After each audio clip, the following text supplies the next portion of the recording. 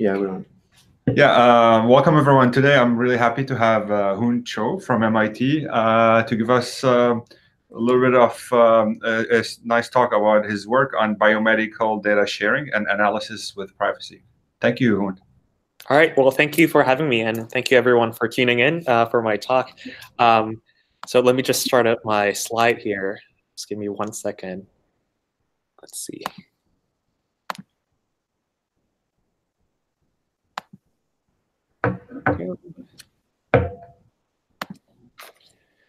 Right, so my talk will be about how do we enable sharing and analysis of sensitive biomedical information while preserving privacy. So as some of you may know, we're currently in the era of big biomedical data, and this is mostly driven by high throughput experimental technologies in various domains. And as a result, we now have these large data sets that are scattered around the world in um, different labs, institutes, and companies. So these include um, genetic sequences, which are held by large biobanks, and also by private individuals more recently, thanks to um, direct-to-consumer um, sequencing companies. There are also pharmacological data sets that are generated by academic and industry labs. And of course, there are medical data, which includes electronic health records that are generated and stored by hospitals around the world. So the, the goal of our research that I will tell you about today is uh, to provide a way to pull together these rich troves of biomedical information to empower scientific advances. Unfortunately, we're currently at a stalemate where on the one hand, we have these large amounts of biomedical data that hold great potential for science. And on the other, we have these researchers who want access to these data. However, a lot of this biomedical information is often sensitive, and this presents a key barrier to open data sharing. So this could be uh, genetic or medical information of private individuals, which could be misused if it lands in the wrong hands, or financially valuable information that commercial companies may wish to keep private. So we're currently in a situation where a lot of a lot of this data is not shared at all due to privacy concerns or shared in an insecure manner with high likelihood of leakage or misuse.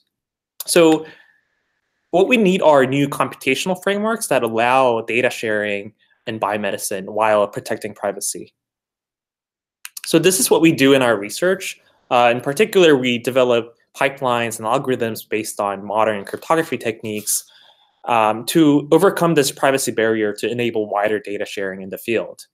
And the hope is that going through these techniques, uh, we can make new discoveries together with access to data whose scale far exceeds what individual entities can achieve.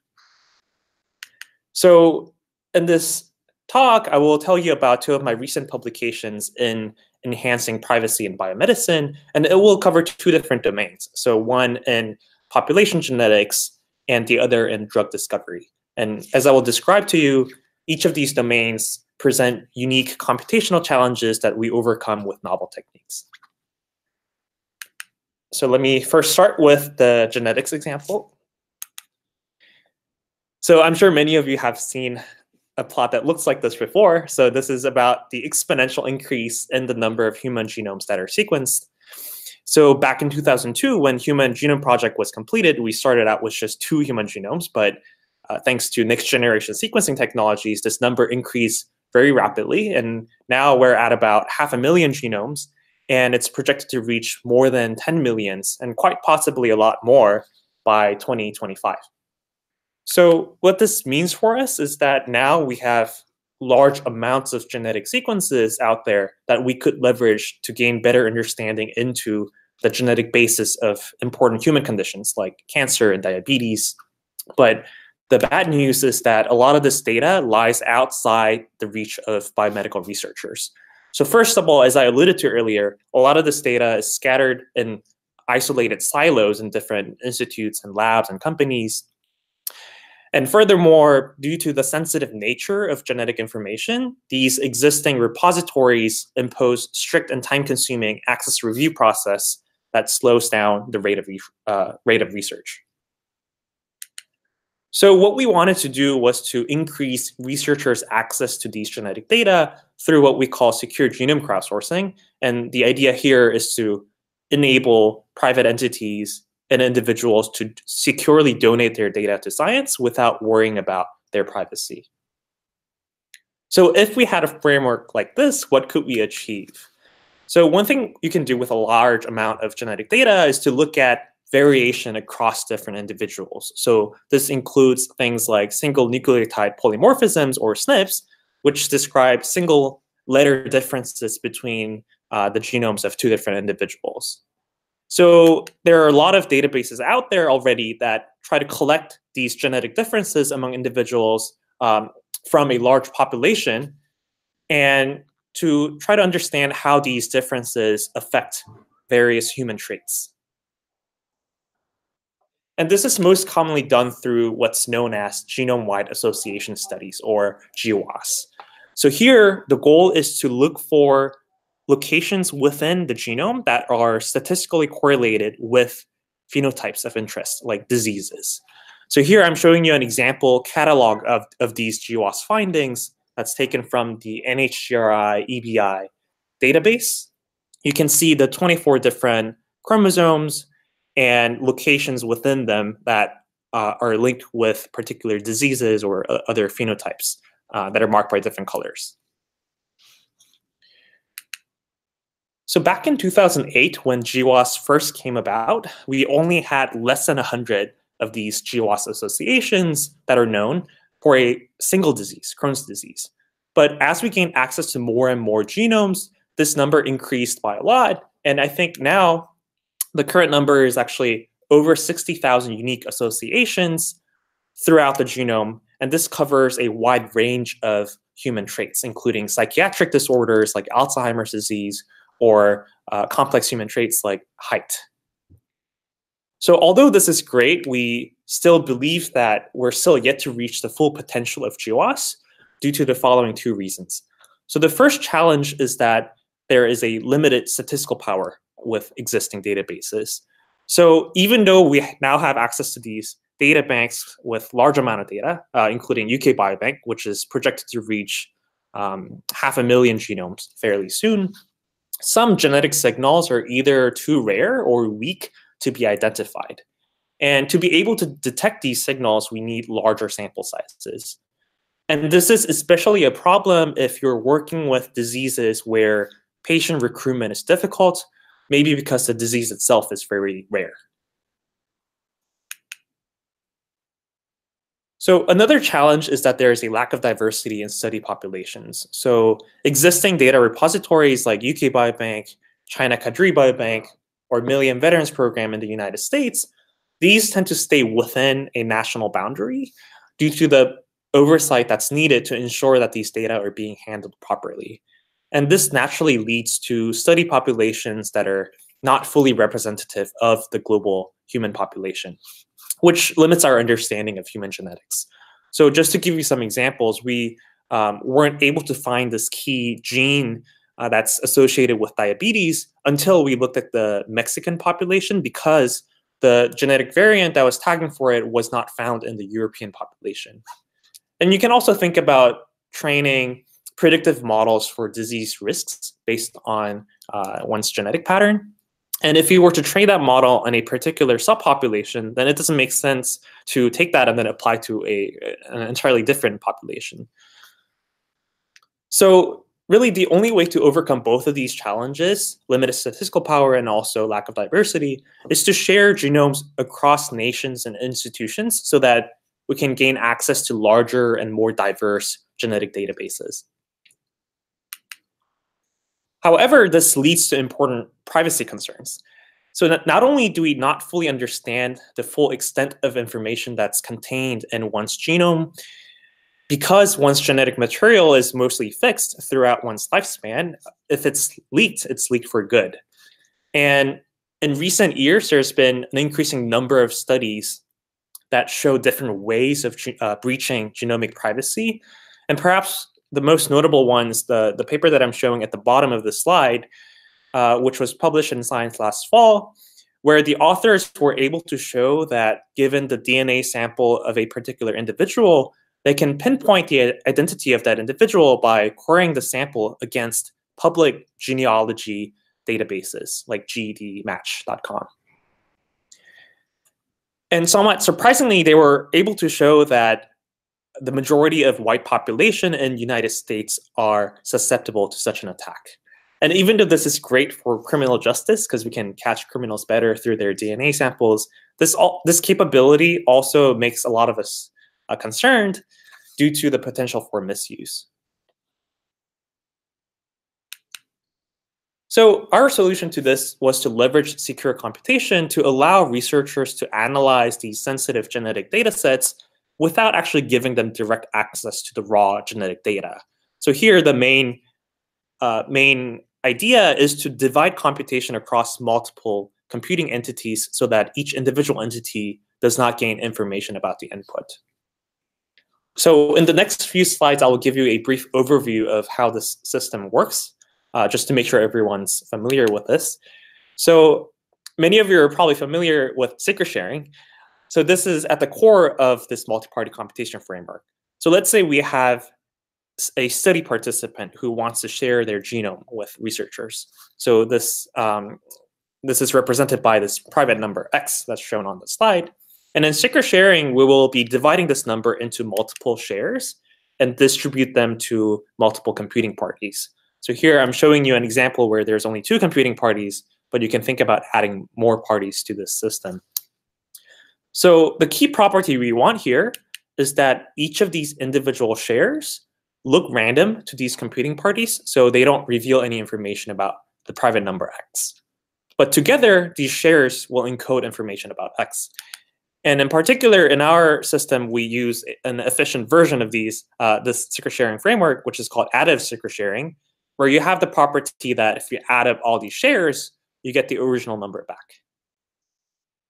Another way of thinking about this from the perspective of the study participant is to sample a uniform random number r, give it to one of the computing parties, and then compute x minus r and give that to the other computing party. So this is one way of generating these shares.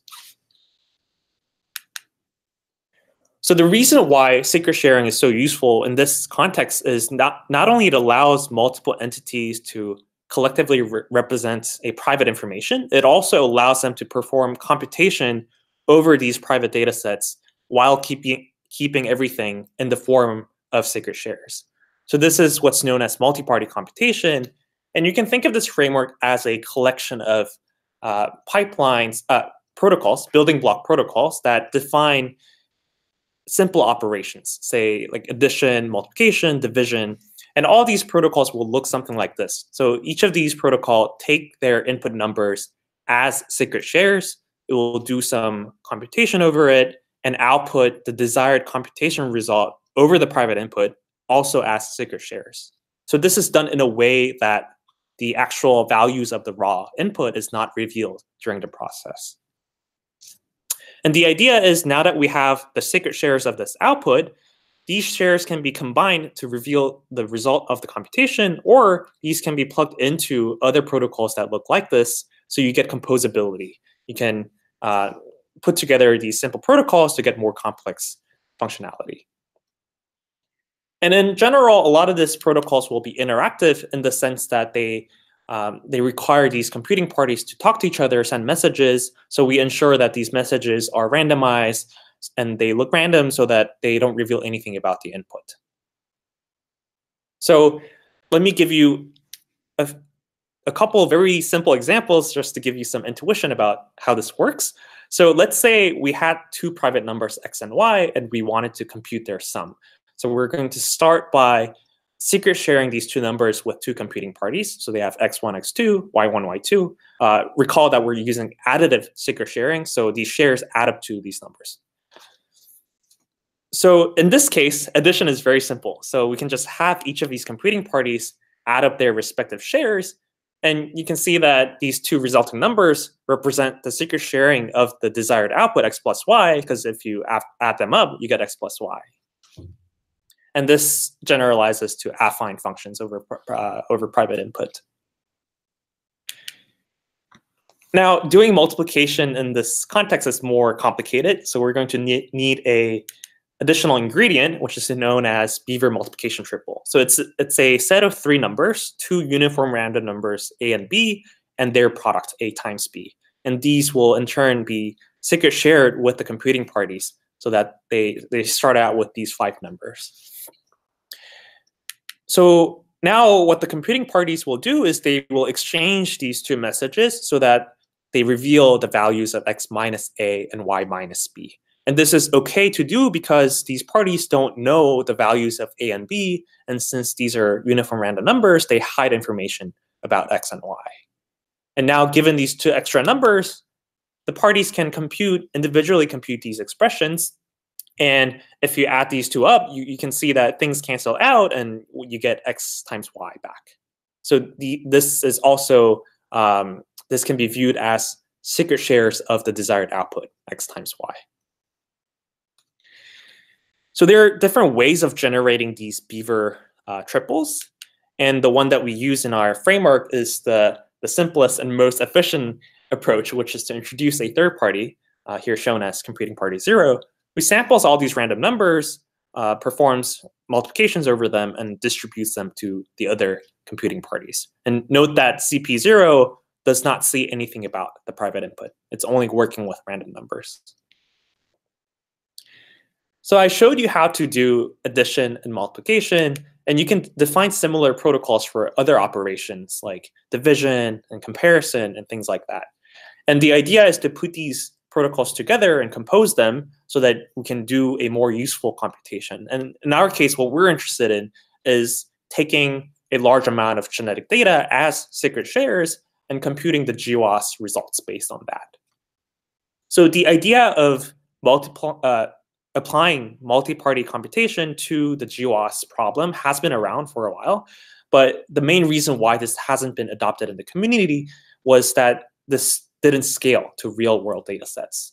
And the main step in GWAS that poses a challenge is what's called population stratification correction. So here's the basic idea of this problem. So in, in GWAS, we're looking for correlations between genotypes and disease status.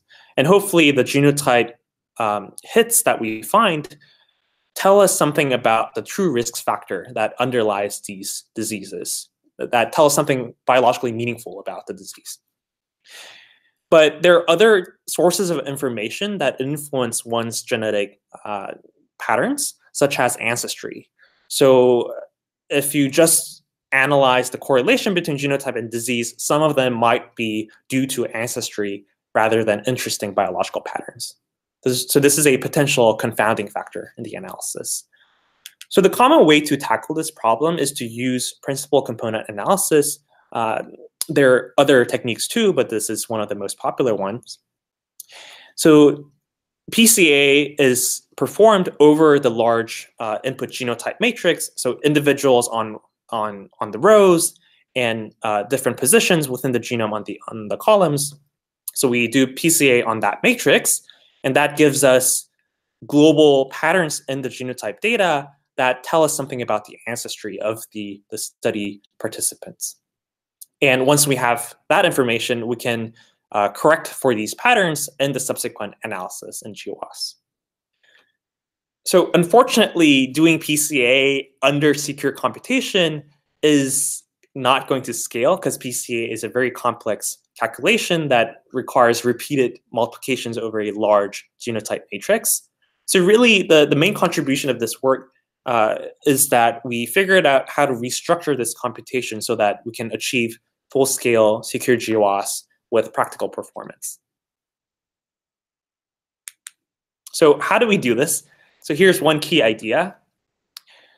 So here I'm showing you the most uh, general setup of multi-party computation. You have a set of inputs that are given as secret shares. You feed it through some composition of protocols, and you get a set of outputs out. So if you use the framework that I described to you in this, in this setting, then for each of the pairwise multiplications you have in the computation, you would need to generate three random numbers. So if you have a lot of these pairwise multiplications in the computation, which is the case if you're trying to do PCA, then this computation blows up very quickly and becomes infeasible. So we were actually able to figure out a way to uh, reduce the redundancy in this process and actually push the randomness to the input and the output so that now instead of generating random numbers per multiplication, uh, pairwise multiplication, we generate one random number per input number and one and possibly a few more for each output numbers.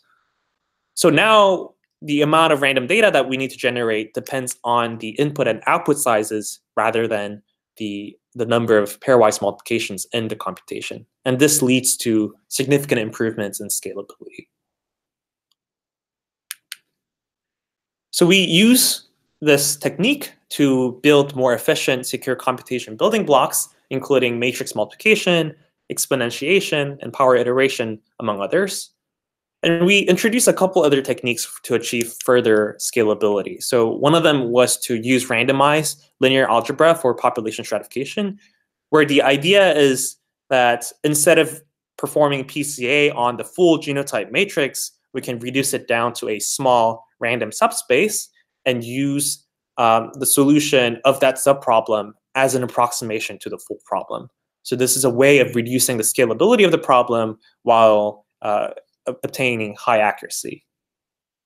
And the other technique that we introduced was to use shared pseudorandom number generators. Um, so the main idea here is there are a lot of places in our pipeline where one party samples a bunch of random numbers and sends that to the other computing party over the network.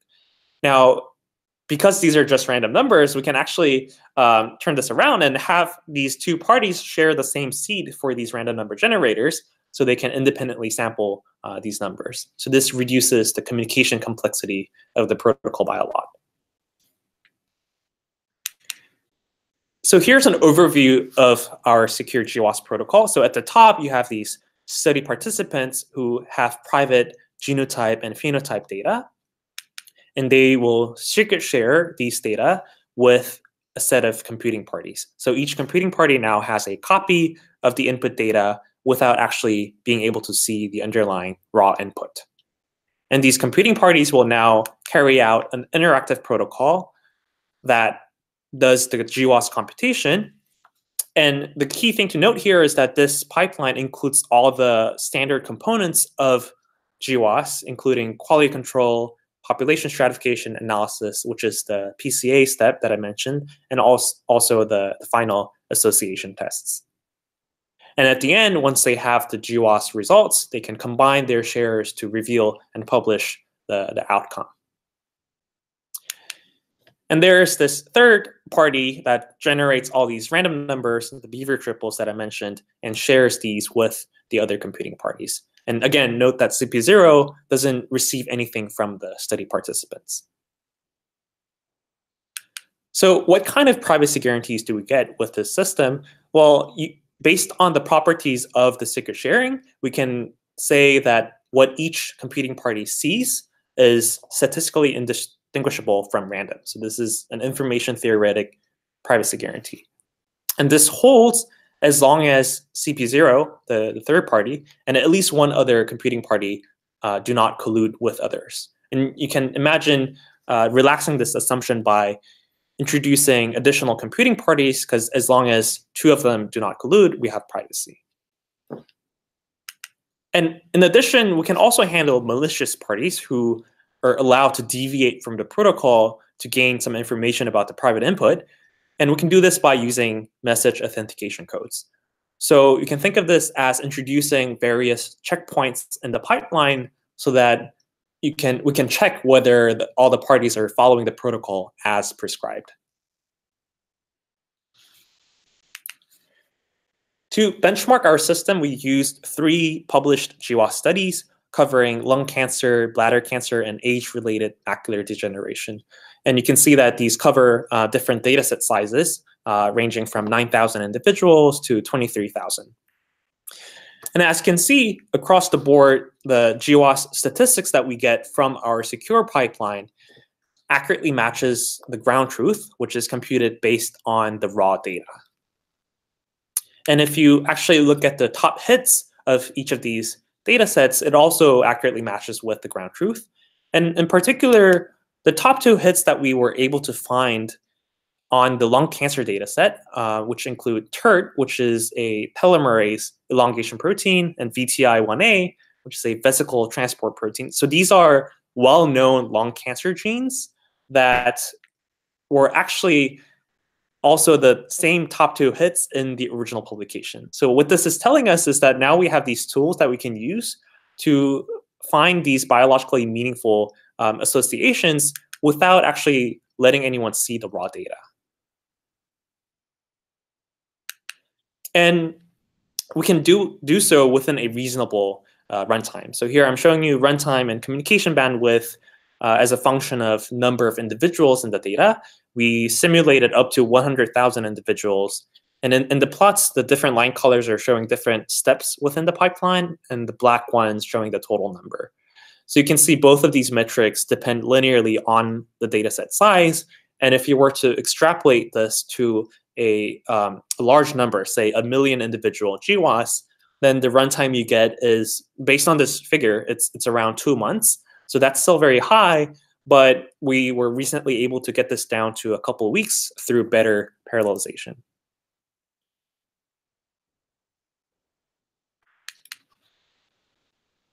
So uh, unless there are burning questions that people want to ask me right now, I, I would like to uh, move on to describing how to apply these efficient multi-party computation to a different problem where we want to allow multiple entities to jointly train machine learning models on pharmacological data sets.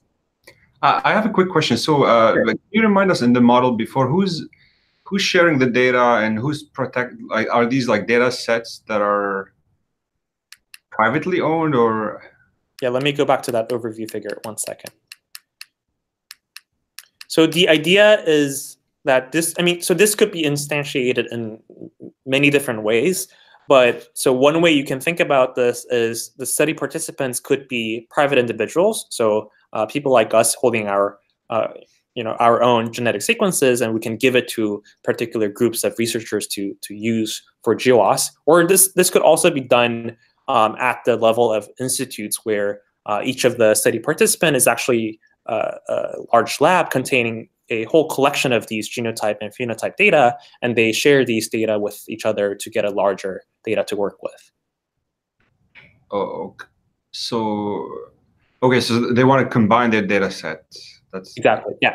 Really, okay, but then how do you how do you if they're trying to? I mean, how do you prevent collusion? Because everything depend. I mean, security here depend on these two guys don't collude together, right? Otherwise, the whole secret sharing scheme will yeah. work.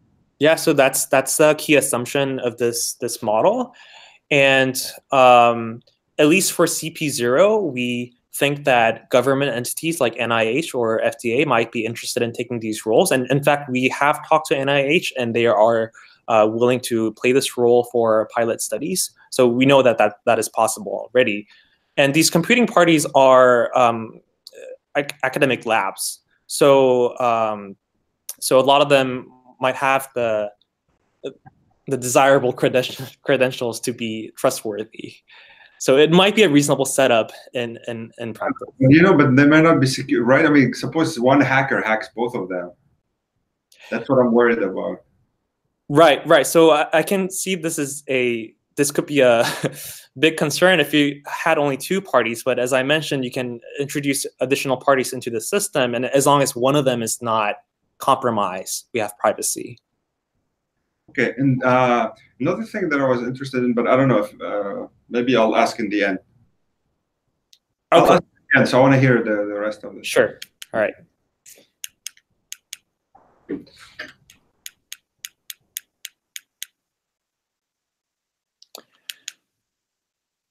All right. So, as many of you know, drug discovery is a very expensive process. It requires years of research and large amount of resources. And uh, faced with declining productivity in recent years, big pharma companies are now exploring a collaborative approach to drug discovery where they try to pull together their data, knowledge, and resources to find new drug candidates together. However, existing partnerships for collaboration are largely limited in scope due to conflicting financial interests. And this includes things that are related to intellectual property claims. And this is a key barrier to collaboration in, the, in, in this field. So a key step in the drug discovery pipeline is to predict novel drug target interactions, or DTI.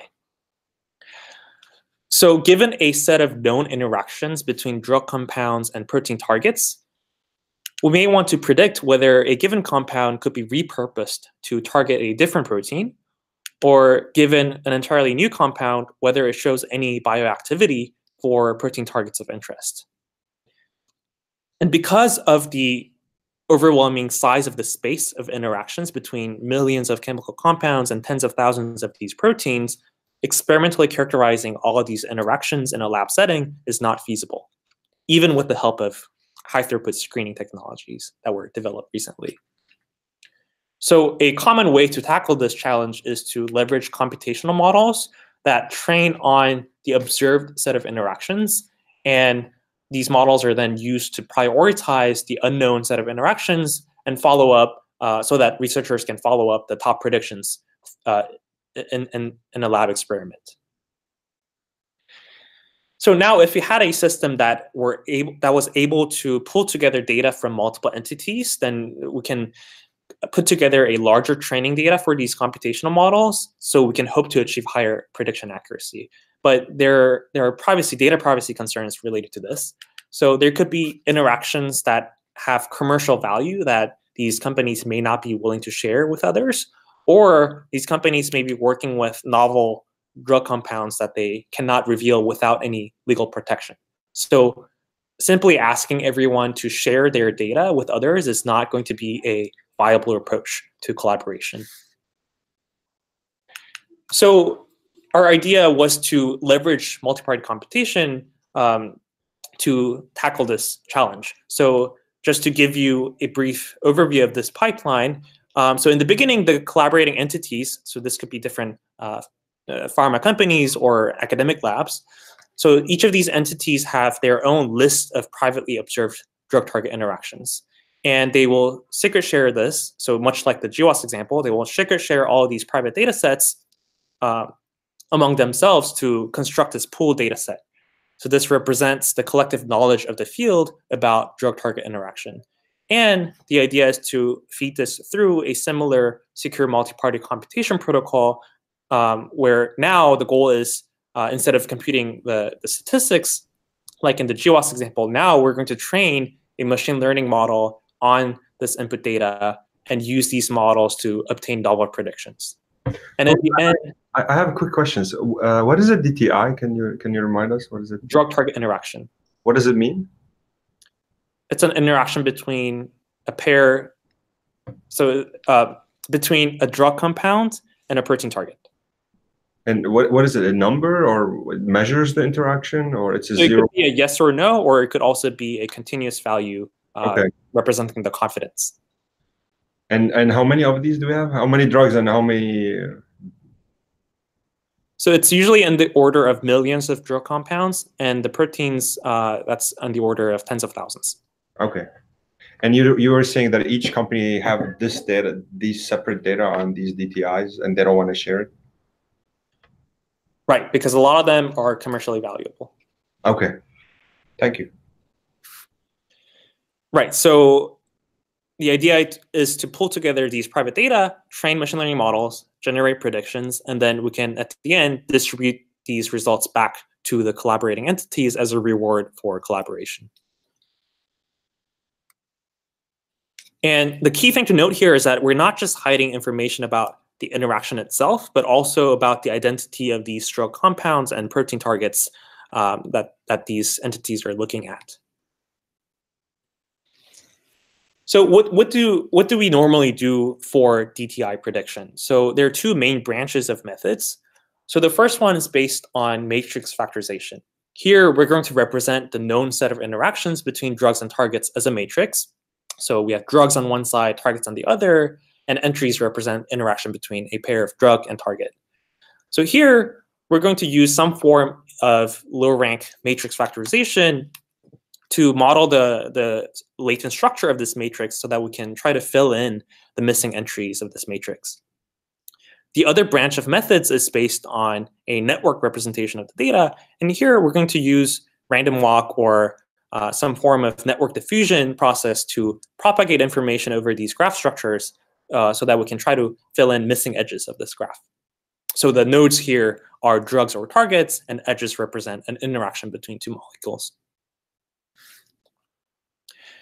So unfortunately, if we were to develop, uh, implement these state-of-the-art techniques under secure computation, they do not scale.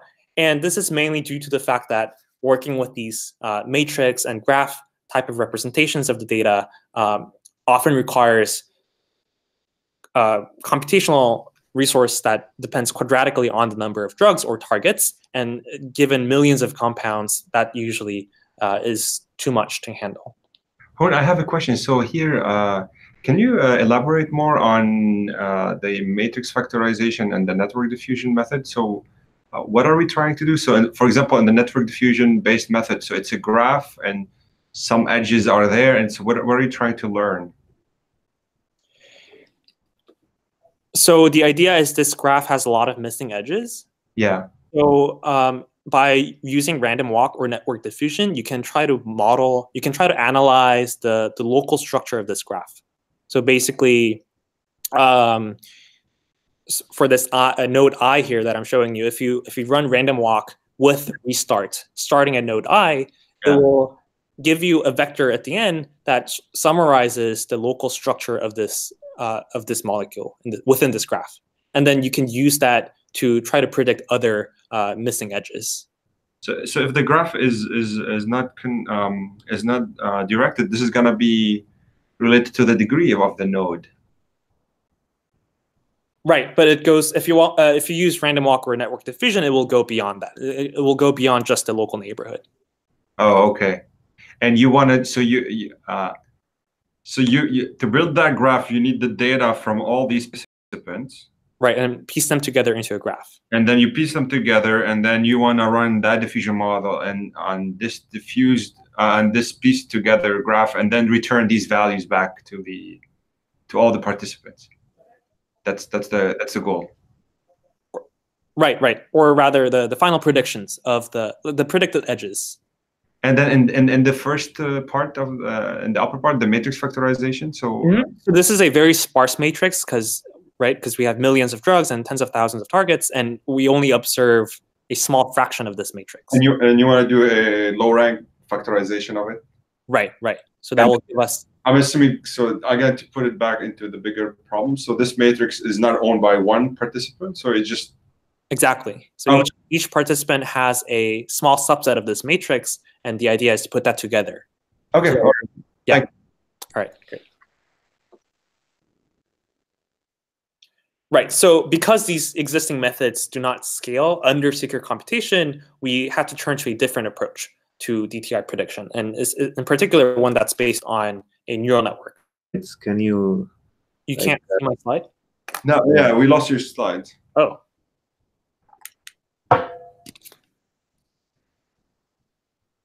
One second.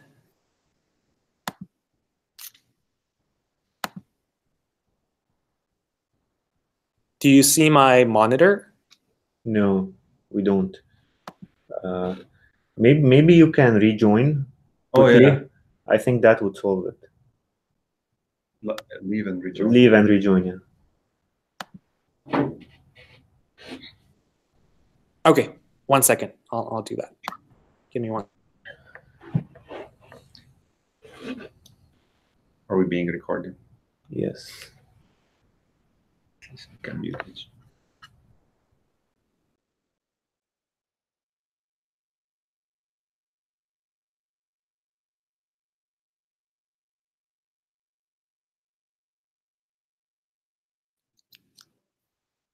Hi. uh, here. Can you see the screen now? Yes, we can. Yes, yes. Oh, perfect.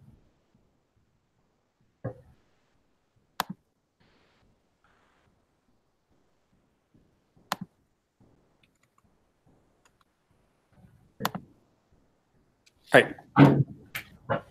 Right. So as I was saying, we are going to summarize the chemical and structural properties of these molecules as a feature vector. And um, for the drug compounds, we use what's known as structural fingerprint or ECFP. Uh, so this is a widely used representation of these drug molecules. And for the protein, we use a functional domain profile that's downloaded from the PFAM database. So these are known segments within these proteins with, with a known function. Um, so it tells us something about the functional properties of these proteins. And, and note that this is a fairly simple approach to featureizing these molecules. Uh, and um, it's straightforward to substitute in more complex featureization techniques. So now given this feature vector for a um, pair of drug compound and protein target, we can feed this through a standard neural network to try to predict whether these two uh, molecules interact or not.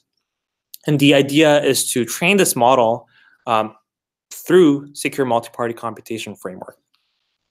And this is more scalable than the previous matrix uh, matrix-based or graph-based approaches because here now we're taking linear scans uh, through um, the observed list of interactions um, if you're using a standard gradient descent approach. So that doesn't depend quadratically on the number of molecules, given the sparsity of these uh, data sets. And we actually had to make a couple architectural choices that uh, help us achieve more um, efficient MPC. So in particular for the these hidden units in these neural networks, we use rectified linear unit activation, which looks something like that. Uh, so it actually requires only a single secure comparison to compute. And there's a similar uh, remark on the objective function. So we use the hinge loss, which looks much like the ReLU function.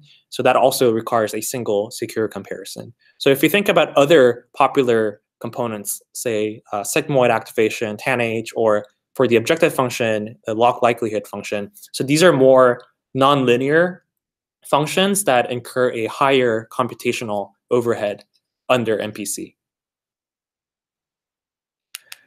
So as I said, the idea is to build an MPC pipeline that trains this network securely. And we're hiding information about um, the, the training data and also the model parameters throughout the process. And to our knowledge, this is the first demonstration of training these neural networks securely on a large scale real world data. So we tested this pipeline on two benchmark data sets that contain known uh, drug target interactions. So the first one's called DrugBank. It contains around 2,000 interactions. It's a very small scale data, but also very high quality because it's highly curated. And um, the, second data we use is called Stitch database. It contains 1.5 million interactions, so it's much larger, but it also includes functional uh, indirect interactions, um, so it's more noisy. But the sheer size of it allowed us to test the scalability of our approach. So how do we do on these data sets? So on the DrugBank data, here I'm showing you the prediction accuracy of our pipeline shown in red compared to other baseline techniques. So we actually achieve competitive and even slightly better accuracy than the, the previous state-of-the-art DTINet. And important thing to note here is that all of these baseline methods are being run on the raw, raw data. So there's no privacy there. And on the Stitch data set, because this was a much larger data and a lot of these uh, baseline methods uh, depend scales quadratically uh, in the number of drug compounds that are in data. Some of them we actually could not run on this data, so we could only compare our approach to simple uh, matrix factorization-based techniques uh, that are shown here. So in this case, we were actually able to achieve quite a significant improvement over the existing methods. And again, we're achieving this with the additional guarantee of data privacy. The two different line styles are showing different ways of uh, evaluating the performance, and in particular, it has to do with different ways of sampling negative examples in the data. So how do, how do you explain that you were able to achieve privacy and do better accuracy? Do you have any intuition why this is happening, or so how? right. so it's a different model, and also it's using a different uh, feature vector, which is not. So um, let me go back a little bit. So th these data sets only contain information about the interaction between drug compound and proteins, right? But we're uh, infusing that prediction problem with data that's taken from other data sets, right? So because um, the feature vectors themselves are being taken from other data sets. So we're introducing more information into the system. So maybe that's one reason why this is doing better. And also we're using a more nonlinear approach to prediction based on neural networks. So that could be uh, part of it too. So um, uh, just to make sure I understand correctly. So for example, when you compared the DTI net, was it compare uh, was it run on one data set instead of i'm still thinking that you're combining together securely many data set before you run your learning algorithm. So is DTI net just run on a subset of that big set that now you can use? So all of these methods are being trained on the same training data. Okay. But the only difference uh, between our approach and the baseline is that we don't actually look at the raw data we do it through mpc okay, okay. Okay. Right. I have a question, quick question. Yes. Uh, are you going to tell us uh, how much time your algorithm would take? Yeah, that's a great uh, segue into my next slide. Oh. so, right, so we're able to achieve competitive accuracy within a reasonable training time. So here I'm showing you the runtime per epoch, where epoch is a single training pass through the data in the gradient descent procedure. And this is shown as a function of number of interactions in the data. So even for data sets containing millions of interactions, uh, our running time stays within within days, which is still uh, we, we, think is feasible at the at the scale. And I should mention all of our results that I that I'm showing you is based on a model that's trained for 1.5 epochs, so it's still within days.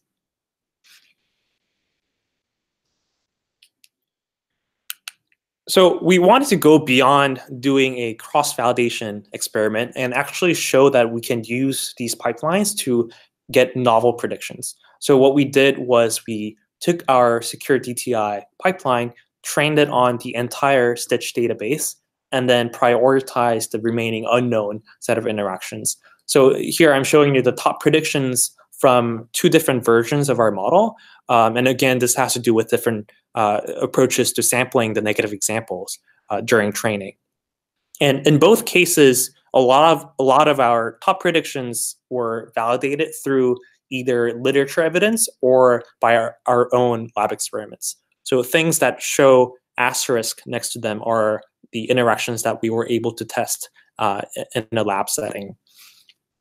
Just to point out some examples here, our top prediction in both cases between droloxifene and estrogen receptor alpha and beta, these are actually well-established interactions that reached clinical trial phase three, but later dropped due to uh, the company finding a, an even better drug for this target.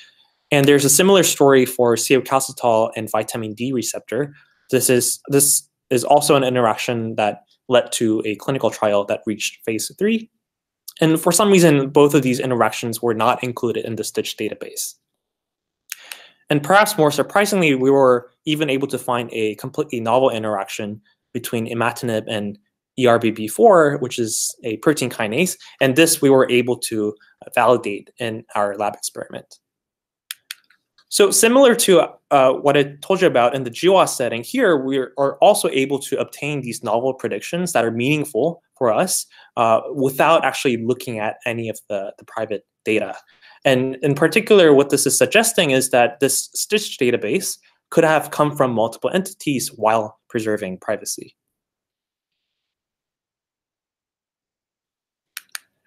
So I wanted to end the talk by pointing out a few future directions that I'm excited about. So I showed you how to leverage multi-party computation to build efficient and secure protocols for uh, the GWAS problem and the DTI prediction problem, but there's still many more applications out there that that could use an enhancement in data privacy.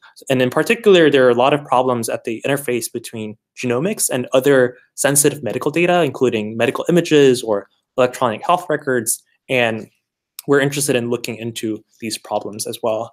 And uh, as was the case in, in the uh, the pre previous two uh, problems that I told you about today, the main challenge here will be about achieving scalable performance. And I think that's where that's an area where like a lot of the audience members uh, on this channel uh, may be able to uh, make an impact because I really think that there is a need for more advanced techniques to privatizing um, data while having the the ability to do computation with them, including alternative approaches to doing secret sharing. And another direction that I'm interested in looking at is to develop general purpose development tools that uh, researchers can use to implement their own analysis pipelines uh, while preserving data privacy without having to worry too much about the underlying cryptography. And of course, the, the ultimate goal of all of these developments is to actually use them in practice. So we're currently working on deploying our secure GWAS pipeline uh, out in the real world uh, to allow genetic studies that pull data from multiple institutes. So stay tuned for more research updates on these directions. So with that, I wanted to um, let you know that all of the software that I described today are publicly available, so you can download and play around with these techniques yourself. I thank my co-authors, David and Brian, for their amazing work. I thank Sean and Jan for providing guidance on these projects, and also my PhD advisor, Bonnie Berger. And these are my funding agency, and I would be happy to take any questions now. Thanks a lot, Hoon. That was uh, very interesting. Um, I have a question about uh, the first part. So you talked uh, about the um, that you uh, you were able to figure out a different way uh, or a different approach to make PCA secure and scalable. Can can you elaborate more on this? Right. So this is the key idea. There was to remove redundancy in the random numbers that we're generating, the Beaver multiplication triples, and this that mattered a lot for the PCA problem because in PCA you have to do uh, um, so those of you who are familiar with uh, the PCA computation, it, you have to multiply a vector with the same matrix over and over again. This is the power iteration step of PCA. So if you do that in the in the conventional approach, um, then you would have to generate random numbers for that entire matrix multiple times. But in our case, we uh, reduce that so that we can only generate it. We can regenerate it once and reuse it multiple times. So that actually reduced the complexity by a lot. Okay. So I don't know if there's any more questions. Yeah, if there are no more questions, so I would like to thank you a lot, uh, Hoon, for this talk. And it'll be available on YouTube, and people can watch it again. And if they have questions, they can comment. So I'm sure lots of people are going to be interested. Thanks, thanks Great. a lot. Thank you for having me. Thanks.